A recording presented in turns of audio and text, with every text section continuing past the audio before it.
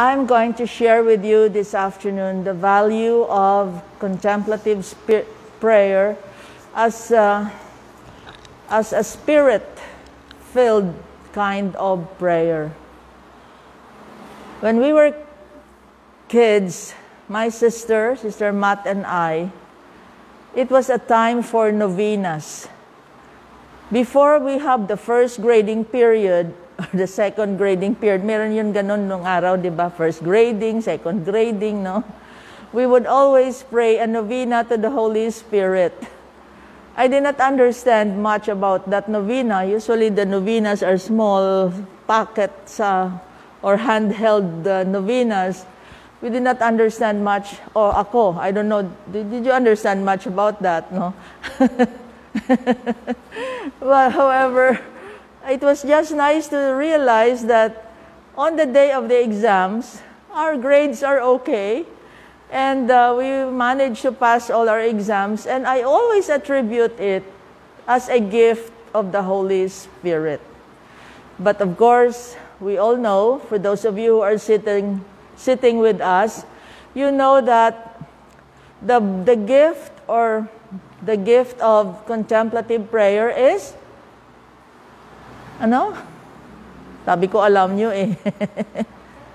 wisdom and compassion.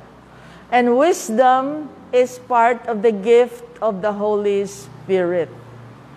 So there are two parts in the gifts. Irene was talking to us about the fruits of uh, the Holy Spirit.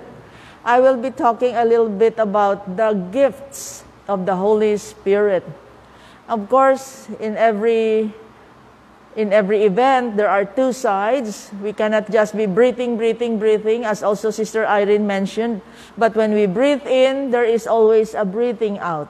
When there is action, the flapping of the wings cannot be done only one hand, but it should also be both hands, the action and the contemplation. So you have you can fly with both wings. You can walk with both feet. So both so there are three gifts of the Spirit that are said to be the contemplative part or the contemplative ones. The wisdom, it's there, number one. Understanding and knowledge. Uh, these are like interior, inner, sa loob. And we have the active part, which is counsel, fortitude, the fear of the Lord, isa pang kulang, and courage. Okay? So these are the gifts of the Holy Spirit. And part of this are developed when we do contemplative prayer. Who, do, who does not want to have the gifts of the Holy Spirit? I think we all want the gift of the Holy Spirit especially that gift of wisdom. And the wisdom is not learned in books. Wisdom is not learned in school. Wisdom is not learned from the internet. Although we may be able to absorb some from what we hear in our YouTube or in the internet. However, wisdom is something that just, that you know. You know, you understand. Wisdom, understanding, knowledge, these are the, the gifts that we receive when we, contem- when we do contemplative prayer. And when our lifestyle is really a lifestyle that is more contemplative. And by contemplative, I don't mean sitting always in the chapel or being quiet all the time. What does it mean to be to live a life of contemplation, a balanced personality? Hindi pwede na nasa chapel lang palagi ah, at nasa uh, walang walang ano, walang imik. Hindi pwede buhay, ang buhay hindi ganun. Then when we realize that not only the Carmelite nuns or the Dominican nuns are contemplatives, but that you and I especially you in the world, can become contemplatives in the world today.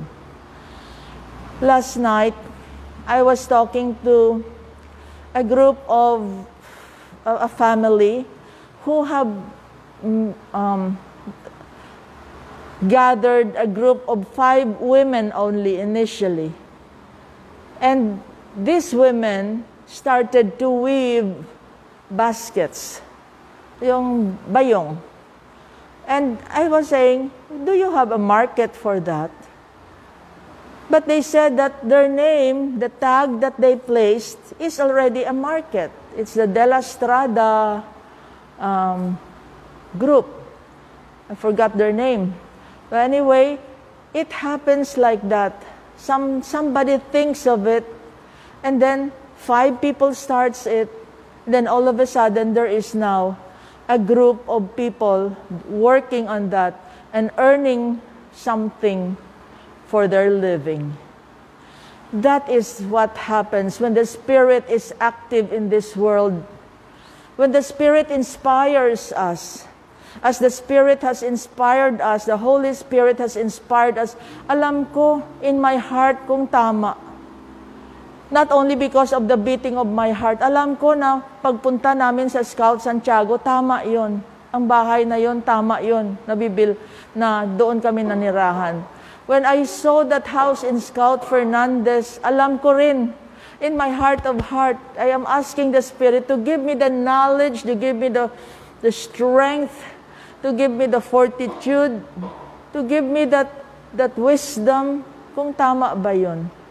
And true enough, we were able to buy the house in Scout Fernandez. And that is where you, many of you, have found God through contemplative prayer. When we went home last May 13 to sit with you there, it was very nostalgic for me to see the center. We are not sitting there anymore. Instead, we are sitting in a big, bigger hall like this here at Regina Rica. But I know that the Spirit of the Lord is there because I could feel, I could feel that we have not really left that place. It's just that because of the pandemic, we are staying here. But there are so many of you now, if you have forwarded and you have shared there are so many of you now. Our sisters who are not here today are watching us too. We have two postulants who are going to become novices by May 31. They're watching. Hello, Kay. Hello, Joyce. Sister Mao, who is uh, at, um, in the mother house, is also watching. And I can see so many of you also watching. I checked earlier on. We have two sisters also on retreat. Maybe they are not watching because they have spiritual direction right now with the reformator at the Cenacle House. But we have Sister Brenda and Sister Marites who are going to make their final vows on May 23.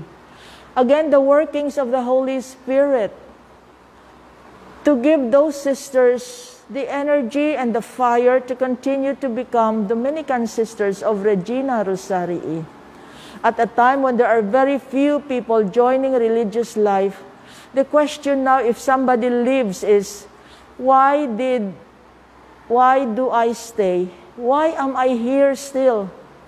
Why is it that one or two have left but I am still here? And it is the power and the wisdom and the gift of the Holy Spirit that makes us know how to discern, how to balance things. Discernment is also the gift, a gift to us. So wisdom, understanding, and and knowledge, these are gifts of the Holy Spirit. Now, when you talk about the fear of the Lord, it is not fear na natatakot. It is the awe. You are awed. Ah? And you don't want to displease somebody. You are amazed. It's a great amazement. It's awesome power. And I hope and pray that as we develop contemplative living experience, as we become more and more contemplative each day because we practice contemplative prayer, I pray that all these gifts of the Holy Spirit will be received by us. May you receive wisdom, understanding, and knowledge as God's gift for you. And may your heart burn with fire of divine love. May we also all receive the gift of counsel, the gift of fortitude, the gift of fear of the Lord, and the gift of courage, especially during this time of pandemic. May God be with you and may God bless you all. Amen.